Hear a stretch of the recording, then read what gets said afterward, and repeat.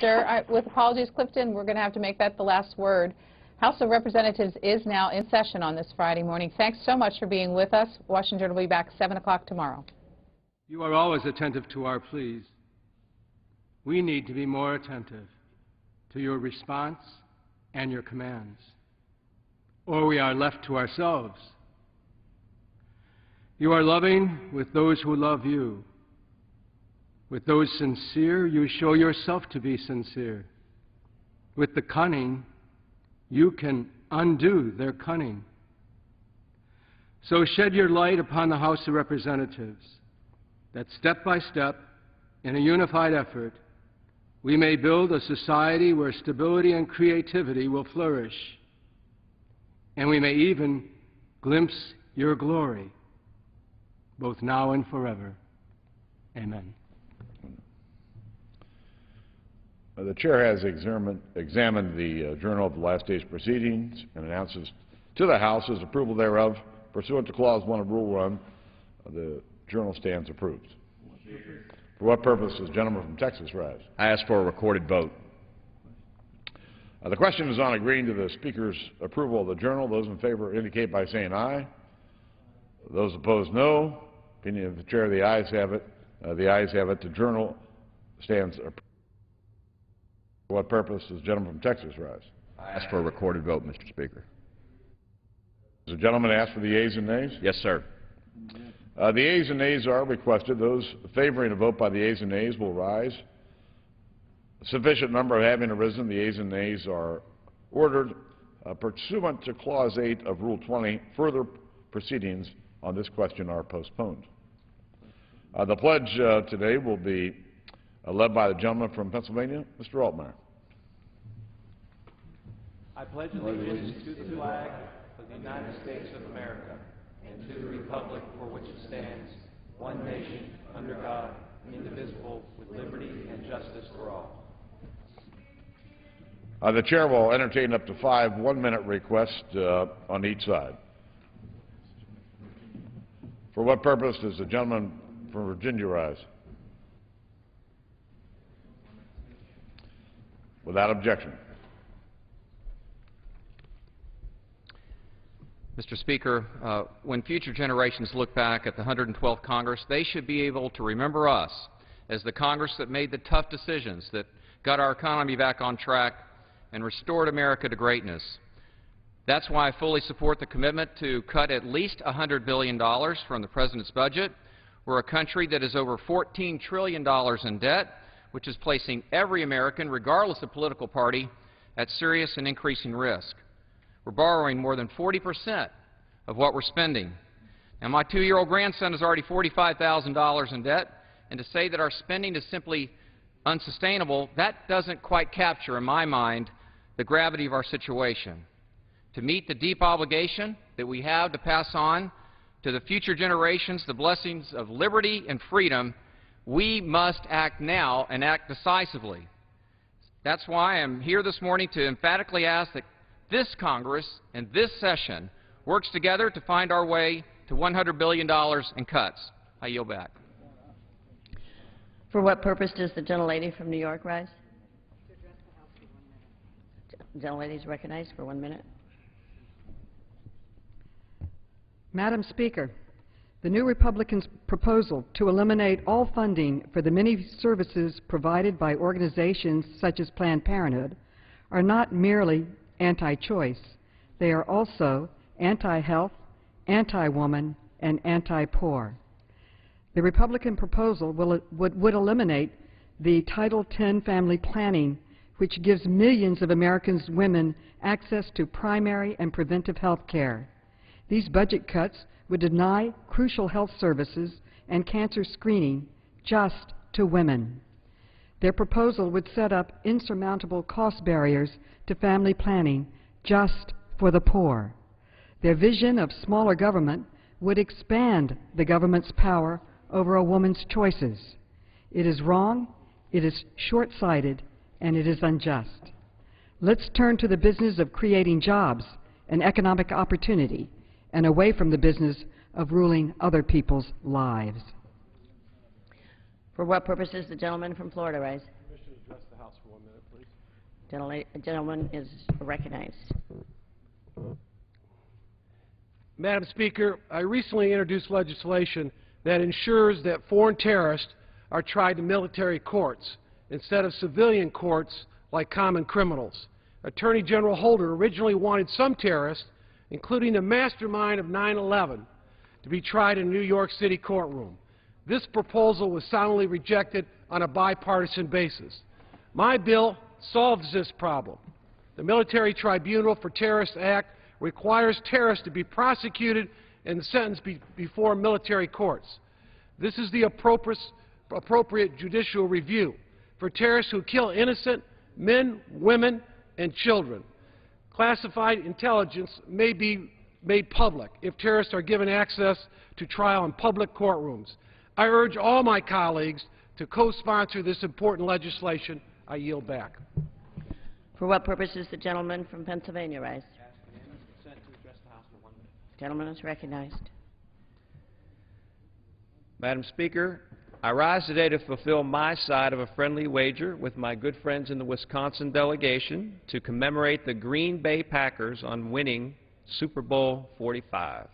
Quarterback Aaron Rodgers was flawless, throwing for more than 300 yards and three touchdowns without an interception to earn Super Bowl MVP honors. And despite playing much of the game without injured stars Charles Woodson and Donald Driver, the Packers never trailed and ended their season by winning the trophy named after the franchise's most storied coach, Vince Lombardi. In winning Super Bowl 45, current Packer coach Mike McCarthy, a Pittsburgh native, led Green Bay to its 10th NFL championship, the most of any NFL franchise since the league first initiated a playoff system in 1933. Again, I offer my congratulations to the Green Bay Packers. For what purpose is the uh, gentleman from Texas rise? Request permission to address the House for one minute. Gentleman is recognized for one minute. Madam Speaker, the President announced to this Congress that he would freeze all domestic spending. But this week we heard the administration say it wants to spend billions of dollars for more high-speed rail. And that's not all. The administration wants to give wireless to everyone in the country at taxpayer expense. It sure would be nice for all Americans to be able to ride on fast choo-choos throughout the fruited plain while reading the news on their wireless iPads, but the country's out of money. Our national debt has risen over $1.7 trillion since last year. We need to focus on getting ourselves out of this crisis by cutting spending, not more spending. Ask the 44 million people living under the poverty level if they want their taxes to go to the administration's Federal Polar Express. We need to cut spending, cut borrowing, cut the taxes, and cut the size of government. We are long overdue to stop subsidizing the government's special projects for its special people with money that does not exist. And that's just the way it is. For what purpose is the gentleman from Connecticut rise? Address the for one minute. Gentleman's recognized for one minute. Thank you, Madam Speaker. This past Monday marked the one-year anniversary of the disaster at the Kleen Energy Systems power plant in Middletown, Connecticut. That blast claimed six lives and injured dozens others last February. It could have been prevented. Unsafe pipe cleaning procedures and poor ventilation helped ignite a basketball arena's worth of natural gas in an explosion that could be heard across a 30-mile radius in central Connecticut. And one of the six plant construction workers who lost their lives that day hailed from Thomaston, Connecticut, in my district, Peter Chepulis. And as we look back on the terrible events of February 7th last year, it's up to us to honor Peter's memory and those who died alongside him by ensuring that disasters like this never happen again. The cost of powering our homes and businesses should never be measured in lives. Industry and government alike failed Peter that cold winter morning, and we have much work ahead of us to right that wrong. While those who lost loved ones in Middletown a year ago will never be made whole again, we owe them our diligence and our best work to make sure that it never happens again. I yield back the balance of my time. For what purpose is gentleman from Virginia rise?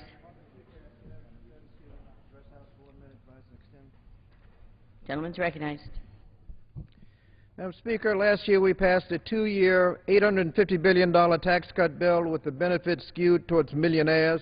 24 billion of that was a bonus reduction in taxes on estates of multimillionaires over and above the generous reduction that most had expected. When the bill passed, many of us asked how we were going to pay for it. Well, now we know. This week, the Republican majority released a list of spending cuts, and look how we're going to pay for it.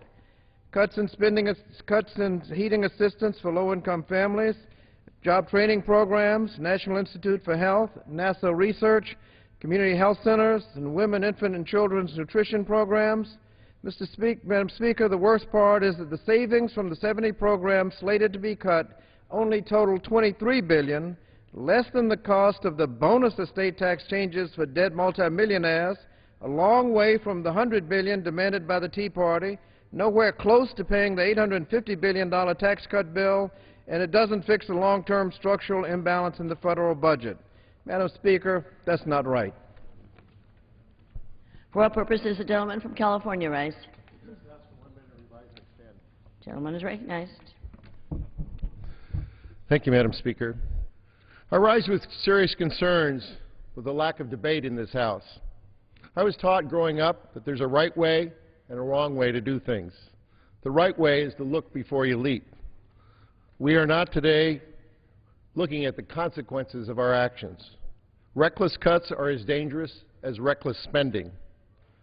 On one side, the Democrats talk about creating more jobs. On the other side, they talk about is the race to the bottom in fiscal cuts. Think about it. You can't create jobs by removing the foundation that creates an educated workforce. Cutting access to education won't create more jobs. Cutting job training won't create a more competitive workforce. Cutting social safety nets won't save lives. Not having hearings on the impacts of our, of our cuts is not a smart thing to do.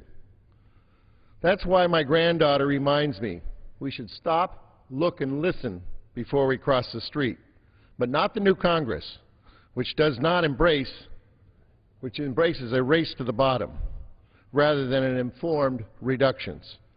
We should not, we should look before we leap. It might save jobs and lives.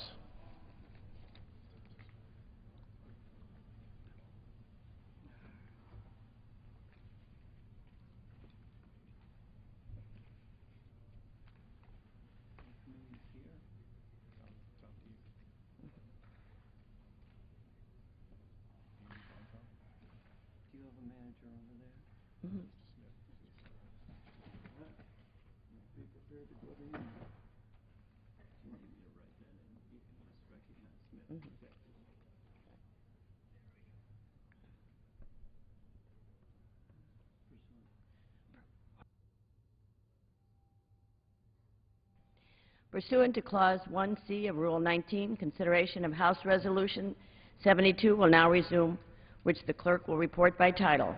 House Calendar Number 6, House Resolution 72, Resolution directing certain standing committees to inventory and review existing, pending, and proposed regulations and orders from agencies of the federal government, particularly with respect to their effect on jobs and economic growth.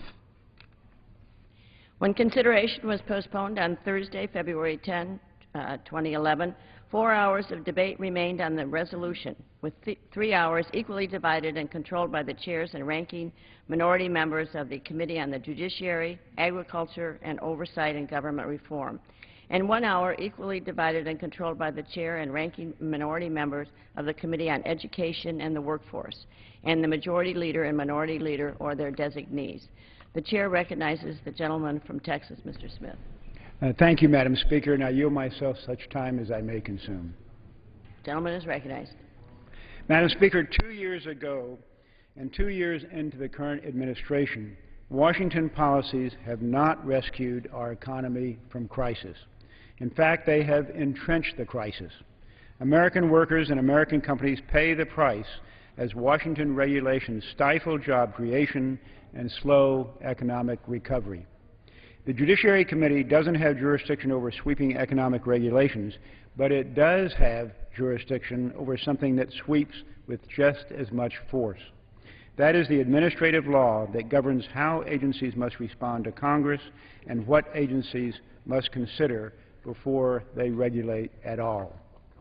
The REINS Act enables us to reassert Congress's authority over the most burdensome regulations that our agencies churn out. These are major regulations, those that impose a burden of $100 million or more on our economy. The REINS Act requires Congress, not an unelected agency head, to decide whether regulations with massive costs become the law of the land. The Judiciary Committee has already begun hearings on the REINS Act and intends to move quickly to mark up this legislation. Small businesses are the heart of job creation. Rather than bend to small businesses' needs, Washington too often rigidly demands that small businesses bend to Washington. Overbearing, one-size-fits-all federal regulations have long been the order of the day. Small businesses cannot bear their weight. Since small businesses are the engine of job creation, it is clear what suffers, that is, jobs. This week, I introduced the Regulatory Flexibility Improvements Act of 2011 to force federal agencies to accommodate the needs of small businesses. Yesterday, the Judiciary Committee held a hearing on the bill, and it intends to mark up that bill soon. Let's reform the administration, excuse me, let's reform the Administrative Procedure Act, the fundamental charter for all agency rulemaking. While it is not time to retire the APA, it is past time to strengthen it with common sense reforms. We should make permanent cost-benefit analysis requirements that presidents have developed through executive orders. Practice has proved that cost-benefit analysis improves regulatory effectiveness and lowers regulatory cost. But an executive order, no matter how wise, can be revoked by the next resident of the White House. Other vital reforms also must take place. Agencies' favorite and almost universal course under the APA is informal notice and comment rulemaking. This procedure is certainly convenient and it does have its place. But under its shelter, it has long been too easy for big government to impose hard-hitting rules without sufficiently vetting them. This should change. We should consider tougher requirements that agencies must demonstrate a need for regulations. Congress and the courts provide daily proof that evidence tested with witnesses at hearings produces the best judgments. Why shouldn't agencies use formal rulemaking hearings to evaluate the need for major regulations that cost hundreds of millions of dollars? We also should make sure the public has earlier opportunities to comment on potential agency action. Public input should come well before agency positions harden into settled but often under-informed judgments. Under traditional one-time notice and comment procedures, agency decisions are too often made before public comment even happens. President Obama has embraced a number of these principles with both spoken and written words. So I hope we will have bipartisan support for our efforts to pass meaningful legislation that will help create jobs. And, Madam Speaker, I'll uh, reserve the balance of my time. The gentleman from Michigan, Mr. Conyers, is recognized. Top of the morning, Madam Speaker. I yield myself as much time as I may consume. And the gentleman I, is recognized for such time as he may consume. And I am uh, uh, curious about the uh, reference and surprised that my friend, the chairman of the House Judiciary Committee, would uh, come to the floor in this discussion and lift up the REINS Act as a way that we may uh, prevent the uh, regulations for inhibiting jobs. Uh, uh, dear friends, under the REINS Act, uh, we would be violating the separation of powers doctrine that I'm, I'm sure that members of the Judiciary Committee, particularly my friend, the chairman and ranking member for many years, uh, would be familiar with. The RAIN Act, uh, which we have under consideration in our committee, would be the last thing we would want to enact in this Congress uh, to create more jobs. The last thing. Uh, I am uh, surprise that that the separations of powers doctrine is now required for me to explain on the House floor uh, about a 1988 case entitled Morris v. Olson, 487 U.S. page 654, uh, that the Raines case would be constitutionally uh, in, uh, would, would be constitutionally infirm and that the REINS Act would, would be a terrible thing for us to do if you're serious about jobs. Supporters of the REINS Act argue that Congress, and the chairman has said this, that Congress has delegated too much authority over the years to what they call unelected bureaucrats in the executive branch. Of course, they're appointed, uh, creating thereby a lack of accountability among federal agencies and resulting in burdensome regulations. Uh, the REINS Act uh, does not address uh, the, even the problem that they're arguing about. Uh, some might argue that there's a, a need to strike a balance between protecting the safety and health of all Americans and fostering economic growth and job creation. But the President of the United States has already anticipated this need uh, with his issuance just days ago on the executive order improving regulation and regulatory review. I, ask, uh, I, I intend to put this in the record at the appropriate time, which directs agencies to consider the concerns in these concerns in promulgating rules. But the bill that the chairman of the committee refers to would not achieve this balance.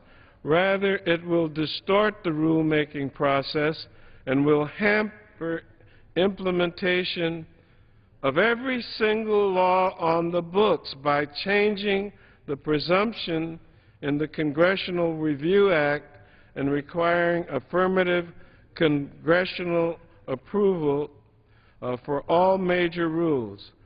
This act will serve as a chokehold and stifle regulatory review, which may, in fact, be the real intent of uh, REINS legislation.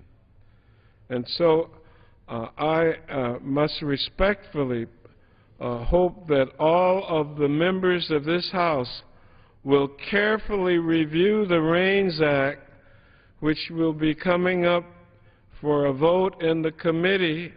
We've had the hearings, and, and the, I, I'd like you to all weigh in on this because nothing could be more seriously destructive to trying to create jobs than doing what is proposed in that bill. And Madam Speaker, I reserve the balance of my time. The gentleman reserves the balance of his time. Uh, the gentleman from Texas. Uh, Madam Speaker, I yield three minutes to the gentleman from North Carolina, Mr. Coble, who is also chairman of the Administrative Law Subcommittee. The gentleman from North Carolina is recognized for three minutes. I thank the distinguished chairman from Texas for yielding. I appreciate that. And I rise in strong support, uh, Madam Speaker, of this resolution. it's been far too long since the Congress conducted a comprehensive review of our regulatory policies and procedures. I'm not here today to be a demagogue or an accuser, but it appears that many of our regulations simply become another cost of doing business in America. My district is no different from many others. We're suffering from the recession, and while we once claimed many manufacturing and producing distinctions, a significant number of directly related jobs have either disappeared or gone elsewhere. This situation has grown, has grown so dire that general feeling in many places in America is that if the government wants to hold you in violation, the chances are trouble is imminent. I support public safety, public health, safe work conditions, and other areas covered by federal regulations, but I simply do not agree with those who feel that the only problem with our regulations is that they're not enough. This mentality, Madam Speaker, is exactly what has gone wrong with many of our regulations. I have no doubt that if we clean our regulatory system, new business and investments will be forthcoming in America. And I believe we can do this in such a way as to reinforce good, sound regulations. The Judiciary Committee, Madam Speaker, has jurisdiction over the Administrative Procedures Act and many other areas of the Commercial Code which can be improved without compromising consumer interests. A lot is at stake here, and this is not a fight between businesses and their regulators. It's a fight Madam Speaker, for the American dream, that a business, uh, an entrepreneur or innovator can have an idea, perhaps a dream, and then fully pursue it. I'm not implying that the sky is falling, but the reality is disappointing indeed. Our country is becoming less conducive for economic growth, and a major contributing factor, in my opinion, is the failure of our regulatory system. I hope we can change this very soon, Madam Speaker. And I say to the gentleman from Texas, I yield back the balance of my time. The gentleman yields back. The gentleman from Michigan. Uh, Madam Speaker, I'm pleased now to yield to the ranking member of the Subcommittee on Courts and Administration, uh, the, the distinguished gentleman from Tennessee, Steve Cohen, as much time as he may consume. Gentleman from Tennessee is recognized for as much time as he may. As thank you, Madam Speaker, and I want to thank the ranking member for the time. Uh, my committee, Courts, Commercial, and Administrative Law, has uh, had hearings on these bills, the REINS Act, as well as the, as well as the uh, uh regulatory reform bills that have been proposed. And the REINS Act would require all measures that have a cost of $100 million or more before their regulations go into effect, within 70 days of the promulgation of those regulations, they'd have to be approved by a positive vote of this House and our equal, equal House, the Senate, and signed by the President before they go into effect. The reality, Madam Speaker, is this would stifle government and stifle growth because, as we've seen, the Senate has difficulty doing much of anything within 70 days. In fact, it had difficulty doing much in two years. And to ask the Senate where any one senator can put down a slip on a judicial nomination or hold up legislation if they so choose, unless they get what they desire and want, the last vestige in reality that we have in this country of don't ask, don't tell, don't ask the senator what they want, don't tell what they got, all of these regulations would be at the whim and caprice of any one individual senator. That's not what the American public wants. The American public wants the government to work. They want the House and Senate to work. They don't want the system in the Senate to where one senator can kill almost anything, to where Senator No can stop the government from actively promoting the general health, welfare, safety of the American public. Now, the REINS Act wasn't needed, apparently, during the time that George Bush was president. And yet there were more regulations and rules during that time than there have been during President Obama's time as president. It's interesting to note that my colleagues on the other side understood the separation of powers doctrine and the fact that the Article 2 allows the executive to carry out and administer the laws, and they should be able to do so. But once President Obama came into office and there was financial services reform, the financial services reform we needed because without regulations, the financial services sector almost took this country into another Great Depression. They did take us into a Great Recession costing us jobs and jobs and jobs and jobs. The high unemployment rate is the result of the lack of regulation in the housing industry and the financial service industry, where those two work together to almost bring down this nation's economy and the world's economy. To where we had a day when President Bush brought us the TARP to save our economy. And in a bipartisan fashion, we passed the TARP that Secretary Paulson told us we had to pass because we were on the brink, as President Bush also said, of financial collapse. Yes, financial collapse because of the lack of regulation. And yet, in this Congress, the 112th, we're being asked to say that no regulations would take effect unless the House and the Senate, that body known not for its alacrity, but for its quote-unquote deliberateness, would have to act and positively pass something within 70 days. Health care legislation, regulations couldn't go into effect to keep young people on their parents' insurance until they're 26 unless the Senate acted within 70 days. Pre-existing conditions would continue to be an impediment for children to get insurance and to be treated. Lifetime caps would continue to exist because we couldn't get regulations approved within 70 days. The fact is it's the executive's responsibility to carry out the laws that the Congress passes. The Congress is not the executive.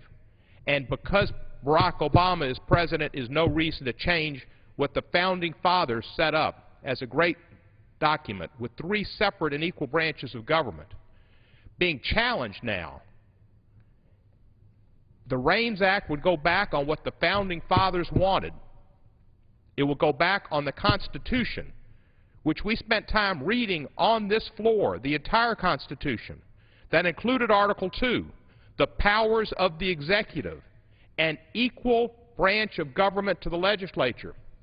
And the REINS Act would say that the Constitution doesn't matter, that the Congress, the legislative branch that's supposed to promote, pass the laws, will also be a part of executing the laws. I hold the Constitution in high regard and don't believe we should shred it because we want to have an opportunity to slow up financial regulations, passed as part of the Dodd-Frank bill, and health care for the American public. The whole idea of this review of regulations that we've gotten and this discussion on this floor of the House has taken this House from a place where the American public doesn't watch the Congress make laws and make improvements to create jobs and to improve the welfare of the American public, but it makes it a debating society because we already have the power to re review rules, and we do it in Judiciary Committee, and we do it in all committees. But now we're going to have reality television. And C-SPAN, instead of watching us pass laws, is going to watch us discuss what we already have been doing, always do, and are supposed to do, which is review regulations and have oversight, but not veto over the executive. So, Madam Speaker, it is with great regret that I participate in this debate because this debate is not a part of a law and an action and a bill to improve the American public, but simply a political show. And with all due respect to the chairman of the committee and the members who have brought this legislation, it violates the Constitution, which we read. That shouldn't have been a show. That should have been something we held deeply to our hearts. This violates the Constitution and the powers of Article 2. I yield back and reserve the balance The gentleman of my time. yields back. The uh, gentleman from Texas. Madam Speaker, I'll yield myself 30 seconds. Gentleman's recognized. Uh, Madam Speaker, I just want to point out uh, to my friends on the uh, other side of the aisle and to those who are watching this debate that both Supreme Court Justice Breyer and well-known and well-regarded Professor Larry Tribe have written supporting the constitutional basis of the REINS Act. It is clearly constitutional. It is clearly going to create jobs. Uh, by the way, that's as opposed to the new health care bill, which the CBO said yesterday was actually going to cost 800,000 jobs. Uh, Madam Speaker, I'll now yield three minutes to my colleague from Texas, Mr. Poe. Gentleman from Texas is recognized for three minutes. I thank the chairman for yielding. Uh, Madam Speaker, uh, the nation is over-regulated. you talk to any business owner, small or big, one of the first things they will talk to you about is the massive amount of federal regulations that are imposed on them, many of them making no sense, but costing them money. And of course, that cost is always transferred down to the consumer, the American citizen. I have tried to find out in the last few days how many regulations there are. Nobody knows. We can't find anybody in Washington that can give us an exact number of how many. One uh, person that I trust uh, said that there are over 300,000 federal regulations that have punitive fines for failure to abide by that regulation. That's a lot of regulations. It seems to me, and this is just my opinion, that down the street where the bureaucrats work in those offices, and we don't know who those people are, they get up every morning, they go into a room, they sit around a big conference table, drink coffee, and they say, who can we regulate today? And they write out another regulation and pass it down to the fruited plain and make the American citizen comply with that regulation. Some regulations are probably pretty good. Some probably are not so good. And it's our duty as representatives of the people to control and regulate the regulators. That is our job. I believe that is our constitutional requirement since we allow these agencies to exist in the administration. It seems to me the federal government should help business, not get in the way of business. And we should stop and start our job of doing away with burdensome regulations that don't help the country. Uh, this law allows Congress to review, by means of an expedited legislative process, federal regulations issued by the government agencies and by passage of a joint resolution to overrule a regulation. We should have oversight over those regulations. The health care bill is a, probably a pretty good example of this overregulation regardless of where we are on that issue, it brings about new, massive, expensive regulations. Uh, Section 906 of H.R. 3590 will require business owners to submit a separate 1099 form for every single business transaction that they have with another business that totals more than $600 a year. Now, what that means, you got a business and they deal with other businesses, if they deal with them more than $600 a year, which many businesses do, they got to file out 1099 form. And the legislation also allows uh, for a enforcement under the the gentleman's time. Madam Speaker, I'll yield the gentleman an additional two minutes. Gentleman's recognized for two minutes. It's expensive regulation that makes no sense. Why should all this paperwork be sent up to Washington so bureaucrats can review it? I don't understand the logic. It makes no sense. It costs money. But the bill also requires 16,000 new IRS agents to oversee the individual mandate requirement that every person must uh, comply with. I think that mandate's unconstitutional. Supreme Court eventually decide. But why do we need 16,000 new IRS agents under the health care bill? I think that's overregulation. And in fact, the Congressional Budget Office, as my friend and chairman from Texas uh, said, uh, the director, Elmendorf, yesterday testified that the health care bill will cost 800,000 jobs for Americans. He said that yesterday. So the bill's not going to help the economy. It's not going to help get jobs. It's going to cost us $800,000 or 800,000 jobs. These are some reasons why I think Congress has the obligation to review the reg regulatory process and to get our house in order and probably eliminate a few of those 300 thousand expensive regulations that are imposed upon businesses and on citizens. And with that, I'll yield back. Gentleman yields back. The gentleman from Michigan is recognized. Uh, Madam Speaker, I yield myself uh, as much time as I may consume before I recognize the distinguished gentlelady from Houston. Because uh, Judge Poe, uh, if he is still here, uh, has raised the first, uh, in the time allotted Judiciary Committee, has raised two specific uh, grievances about overregulation, uh, diminishing job opportunity. and one was on the 1099 form, uh, which I am going to examine more carefully. And the other was about the fact that the Health Care Reform Act, frequently derogatorily referred as the Obamacare Act, uh, but which I call the Obamacare Act because I think it's going to go down in history as a major accomplishment of the president uh, within the first two years of his office. He said it would cost 800,000 jobs.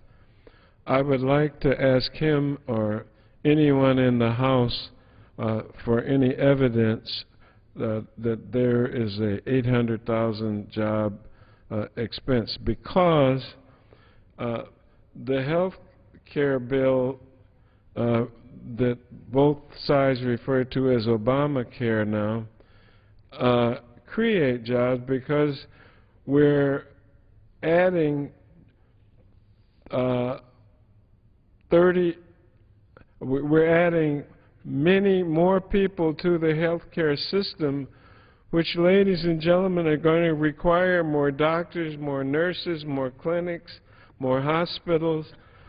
Uh, how on earth can we uh, uh, uh, expand the provisions of health care, which incidentally should apply to every American in this country, and then say that it's going to reduce the number of jobs?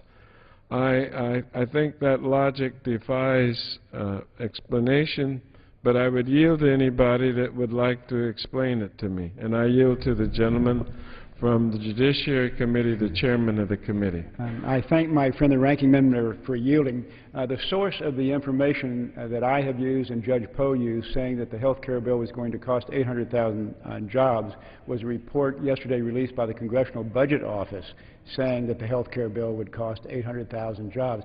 The CBO, as we all know, is an independent, credible, outside uh, agency uh, upon whom we rely for information on a regular basis. And for them to come out and say the health care bill is going to cost 800,000 uh, jobs uh, is, uh, quite frankly, uh, believable and the reason why I think we can cite them as a credible source. And well, th I thank the gentleman for yielding.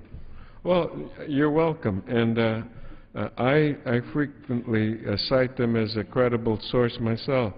But would my chairman of the committee explain how we ensure millions of more people and then with fewer and fewer people. Did the, did the CBO explain uh, anything in their discussion of this job loss of how uh, the healthcare system would ex be ex considerably expanded, but yet at the same time lose jobs. They would do it with less people. Can, can the chairman of the committee assist me in understanding that apparent disconnect? And I yield. Um, would the gentleman yield again? Of course. Uh, I can't uh, explain the disconnect because I don't think there is a disconnect, but we can certainly supply you with the testimony that was offered by the CBO yesterday uh, in which they said it would cost 800,000 jobs. And we'll look for a copy of that testimony or uh, the other judiciary staff members might be able to supply us with a copy of that testimony as well. But uh, I don't think there's a disconnect. I believe the CBO. I do believe that the health care bill is going to cost 800,000 jobs. I thank the gentleman for yielding. You're welcome. I, am pleased now to uh, recognize the distinguished gentlelady from Houston, Texas, uh, Sheila Jackson Lee, a senior member of the committee, for as much time as she may consume. Gentlelady from Texas is recognized for such time as she may consume. Thank you, Madam Speaker. Let me thank Mr. Conyers uh, for yielding, and I think it's important that we explain to our colleagues what we're doing here. Uh, this is part of a seven or nine hour marathon for committees of jurisdiction to come to the floor to respond to how important it is to, in essence, clog up the government. It sounds pretty and it sounds attractive to be able to suggest that we have not been uh, exercising due diligence as relates to the regulatory process of the executive branch. And my colleague from Tennessee was right. When we cite the Constitution, what we are saying is that the Founding Fathers recognized the importance of three distinct branches. The legislative rights legislation and has the right to oversight, and uh, those who are part of this body are elected uh, to represent certain perspectives. The executive is elected by all of the people, electing the President of the United States, and the third branch, the judiciary branch, has oversight. So what we have taken to the floor to do is to spend nine hours uh, in redundancy, uh, talking about what this body should be doing anyhow. We have the responsibility of oversight. Uh, we have the ability to question regulations uh, in regular order. But what we will be doing is ignoring the people's business of creating jobs and, frankly, putting ourselves uh, in the role of a clogged toilet, meaning that we're doing nothing. We're stuffed up. So I would make the argument that the REINS Act, maybe through good intentions, uh, is a dilatory tactic that keeps us from doing our work. Let me give you a few examples as a member of the House Judiciary Committee. One of the subcommittees that I have the privilege of sitting on is a committee, and I thank uh, Chairman Smith for uh, designing this committee again, dealing with competitiveness. What could be more important than assessing whether or not this country is losing its competitiveness uh, to uh, countries around the world or that corporations are doing non-competitive acts that causes us to lose jobs. I'm not happy with the United Continental merger. We've just lost jobs in Houston, 500 of them. I would prefer us continuing to have oversight over whether these large type mergers cause us to lose jobs. There are any number of merging industries that believe that's the best way to go. And therefore, I would welcome that opportunity. Mr. Conyers, I understand that the mayor of New York is suggesting that Germany should take over Wall Street. I'm offended. I'm hurt. Not that I have anything against Germany, but I know that there is a type of intellectual property that is possessed uh, if nothing else, the pride of Wall Street as it relates to the body politic of finance in this country and around the world. I would like to have a hearing as to whether or not that is detrimental to the loss of jobs or whether, in fact, uh, it diminishes the competitiveness of this nation. That is what the Judiciary Committee has powers to do. If you put this bill in place, and might I concede, I don't mind conceding that something is going to pass. But I, I, hope that there is a thought process that recognizes that staff has indicated to us that last year under this rule there were 94 major regulations that this body would have to attend to. So we would have eliminated our work on food safety. We would have had to eliminate our work on Wall Street reform. We would have had to eliminate our work on ensuring that Americans get good health care in order to stop the work of this body to address a regulation that we would have every right in an oversight process to handle. Then, as a member of the crime subcommittee, I want you to be aware of the fact that I've been told by representatives of the Federal Prison Bureau that our federal prison now houses more convicted international and domestic terrorists than, than Guantanamo excuse me, Guantanamo Bay. But yet, we're at a hiring freeze. We don't have enough uh, prison, Federal Bureau of Prison Corrections officers in order to ensure as the rising inmate population, nothing that I'm proud of, continues to grow, the ratio of prison uh, correction officers, federal, diminishes. You can see it in the state. The tragedy in Washington state, not enough officers in a state prison, and a prison officer is killed. We need to have hearings on how we can address the crisis in the Federal Bureau of Prisons. I might say that would add jobs. We need more individuals there to protect them who are doing serving their country, as being part of the Federal Bureau of Prisons system, creating jobs. Why are we not attending to that?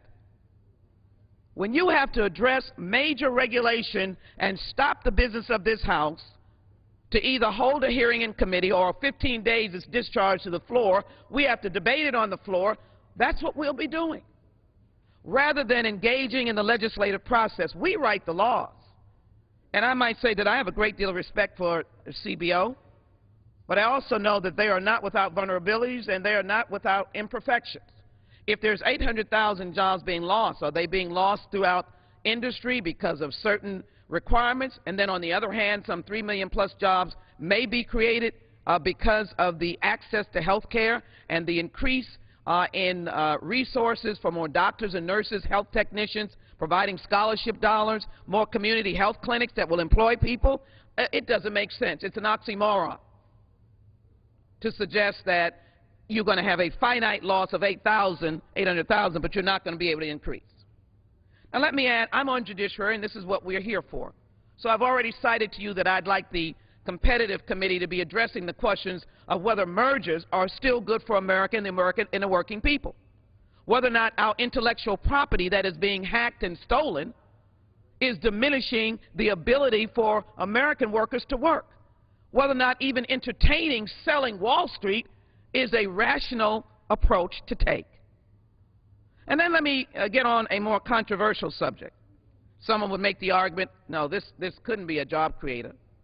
But we have been frustrated by the immigration system for now the lifetime of my tenure in Congress.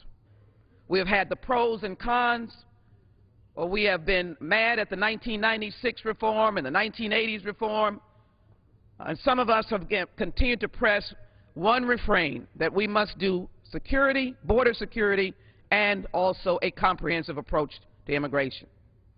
Some would argue that that absolutely cannot create jobs, but I will tell you, why are we not fully addressing the broken immigration system in this nation? If we pull at the heartstrings of many members of Congress who will proudly speak of their German heritage, their Irish heritage, uh, their Hispanic, uh, Latino heritage, African American heritage, Asian heritage, uh, heritage from all around the world. They will point to the fact that they came from somewhere. We understand that if we can regularize this broken immigration system, not only do we have individuals legitimately investing in America through Social Security and taxes, but immigrants, new immigrants, also create jobs for others.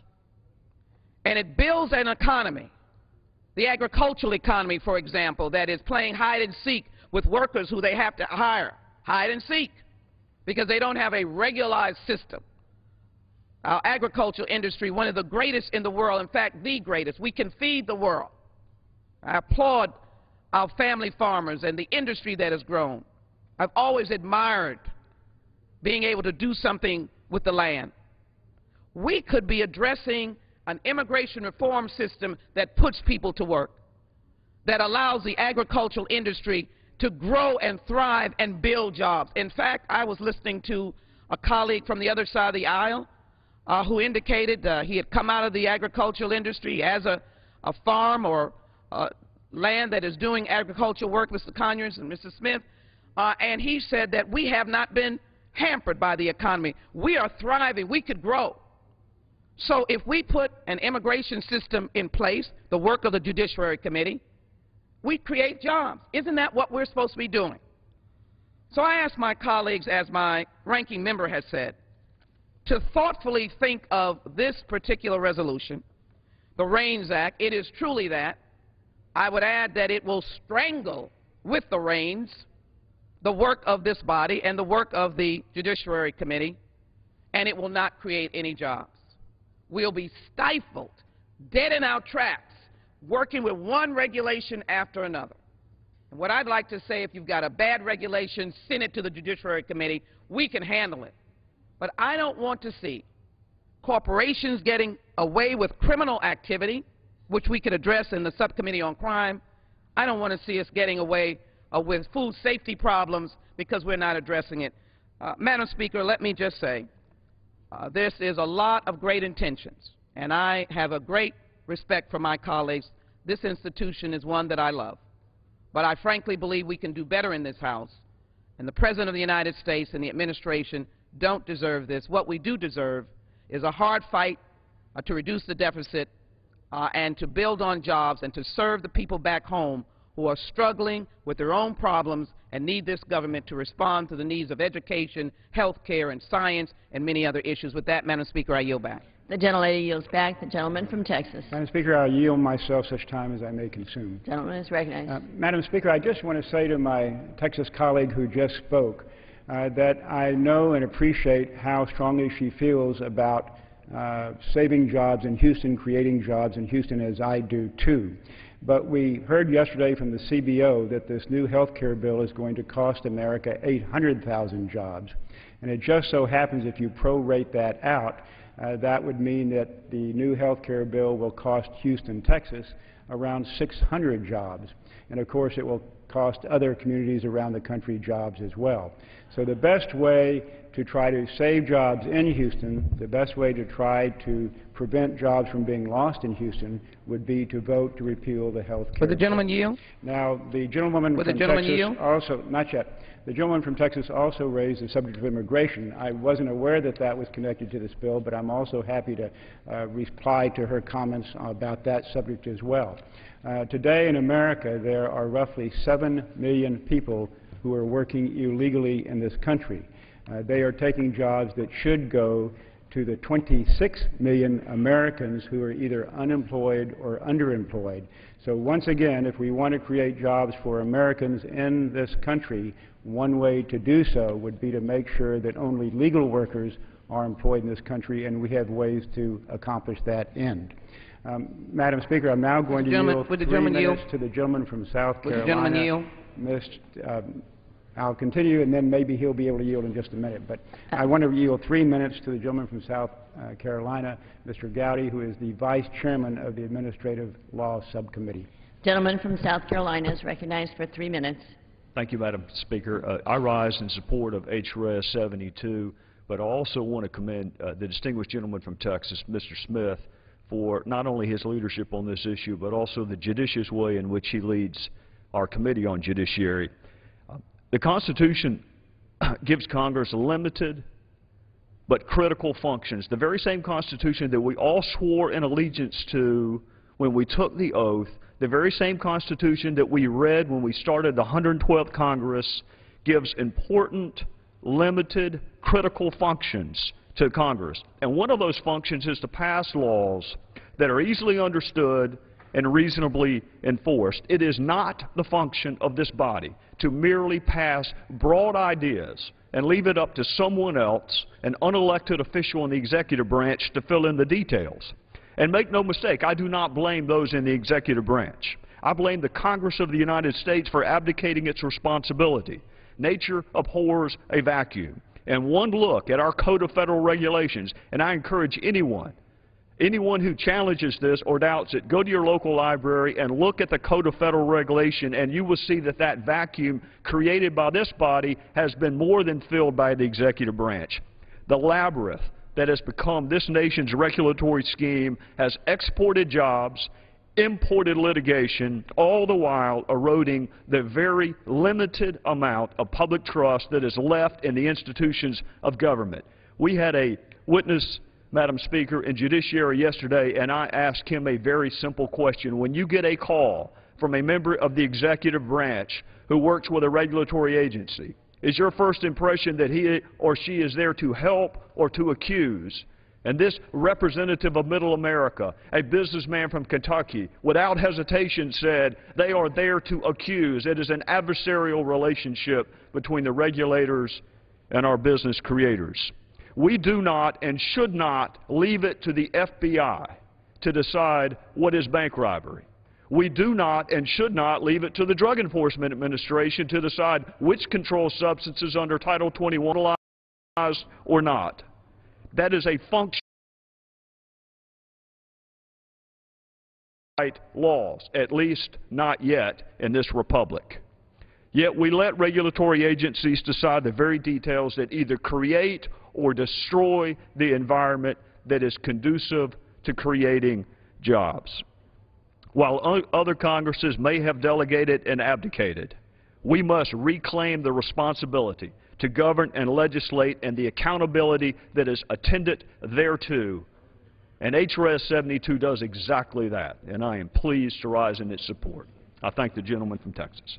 The gentleman yields back. The, uh, the gentleman from Michigan. Uh, Mr. Madam Speaker, uh, I'd like to uh, yield to uh, the gentlelady from Texas, Ms. Jackson Lee, as much time as she may consume. Gentleman, a uh, gentleman